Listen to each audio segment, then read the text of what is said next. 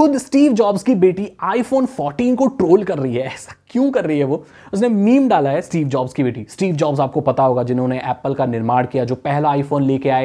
Apple company जिन्होंने establish की, Steve Wozniak के साथ मिलकर।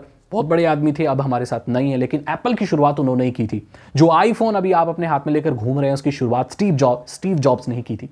उनकी खुद की बेटी एक मीम शेयर कर रही है आईफोन 14 को ट्रोल कर रही है। अब ऐसा तो हो नहीं सकता कि नया आईफोन लॉन्च हो और वो ट्रोल ना हो। चाहे बैटरी को लेकर कह लो, चाहे डिज़ाइन को लेकर कह लो, हर तरीके से हर साल जब आईफोन निकलता है तो एंड्रॉयड यूज़र्स या जितने भी लोग आईफोन पसंद नहीं करते या पसंद भी करते हैं, उसको ट्रोल करते हैं। तो कैसे ट्रोल हुआ है इस चीज़ के बारे में बात करेंगे।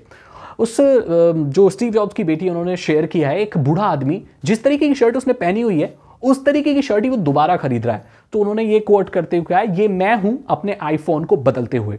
इनका कहने का मतलब ये है कि जो आईफोन नया निकला है, वो पुराने आईफोन जैसा ही है। मतलब कि आईफोन 14 बिल्कुल आईफोन 13 जैसा ही है और ज़्यादा डिफरेंस नहीं है, बस नाम पलट कर एक नया आईफोन लॉन्च कर दिया है। और उनका कहना काफ़ी हद तक सही भी है, मैं मानता हूँ, क्योंकि डिज़ाइन में कोई चेंज नहीं हुआ है।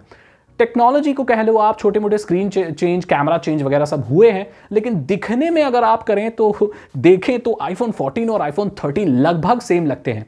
इन लोगों ने जो भी इनोवेशन इस बार थोड़ी बहुत की है वो इनके प्रो मॉडल्स में की है। और नॉर्मल जो बेस मॉडल है जैसे आईफोन 14 और आईफोन 14 प्लस उसमें कोई चेंज नहीं किया। इनफैक्ट उसमें जो प्रोसेसर लगा हुआ है वो भी एप्पल का A15 बायोनिक चिप लगी हुई है जो कि आईफोन 13 में भी देखने को मिलती थी। सो so, ज़्यादा चेंज उसमें है नहीं और उनका कहना है कि बस नंबर बढ़ा दिए गए हैं।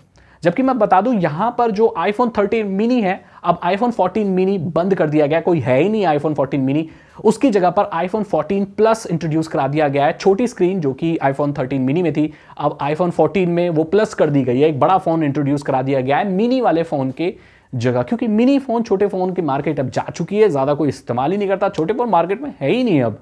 सब बड़ा चाहते हैं, क्योंकि सस्ते में बड़ी स्क्रीन मिल जाती है तो फिर लोग क्यों छोटा फ़ोन लेना पसंद करेंगे? तो यहाँ पर ट्रोल उन्होंने ऐसा किया है। मेरी भी बिल्कुल यही राय है भाई। जब आप कोई नया मॉडल निकालते हो तो उसमें कुछ तो बदलाव करो। अब बात करें प्रो मॉडल्स की तो वहाँ पर जो नॉच है ना, वो उसमें चेंज देखने को मिला है। वो एकदम पिल साइज्ड है ऐसे, और उससे वो एडवेंचर वाला या कोई आइलैंड या कौन सा, पता नहीं क्या बोल रहे हैं उसको।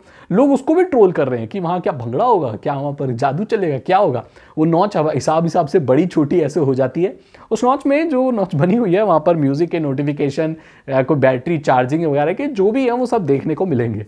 पता ये लोग क्या करते हैं? बेसिक से बेसिक फीचर हटा देते हैं। आईफोन 13 में बैटरी परसेंटेज नहीं देख सकते ऊपर आप।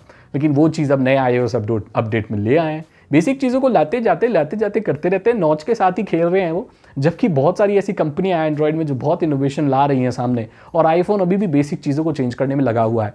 देखने वाली बात यह है कि कैमरे में इंप्रूवमेंट तो देखने को मिली है। बैटरी भी बोल रहे हैं अब तक की बेस्ट बैटरी है आईफोन की। बट डिज़ाइन के मामले में इन्होंने ज़्यादा इनोवेशन दिखाया। नहीं है। तो यही मेरी राय है। भाई ट्रोल तो होना ही चाहिए। कुछ तो बदलाव लाने ही चाहिए। थे यही मैंने बता दिया कि क्यों ट्रोल कर रही है। स्टीव जॉब्स की बेटी खुद ट्रोल कर रही है आईफोन को। शायद उनको ये लगता होगा कि उनके जो पिताजी थे, वो ज़्यादा इनोवेशन इनोवेशन लेकर आते थे। और सही मायने में स्टीव जॉब्स बहुत इनोवेशन लेकर आते थे। उनका जो आईपॉड था, वो जब डिज़ाइनर वगैरह लेकर आए थे तो उन्होंने उसे पानी में डाल दिया था और बुलबुले निकले। तो उन्होंने जब ये बुलबुले निकल रहे हैं दैट मीन्स इसमें अभी भी स्पेस है। इसे और छोटा बनाओ, और छोटा बनाओ। अगर वो होते तो आईफोन कुछ और ही होता, फ़िलहाल वो नहीं है। लेकिन फिर भी आईफोन बहुत अच्छा है, आप ट्राई कर सकते हैं। अगर आपको वीडियो अच्छी लगी फनी लगी इंटरेस्टिंग लगी तो इस वीडियो को लाइक करें, अपने दोस्तों के साथ शेयर करें। साइबर सिक्योरिटी और इथिकल हैकिंग में इंटरेस्ट है तो डिस्क्रिप्शन चेक करें।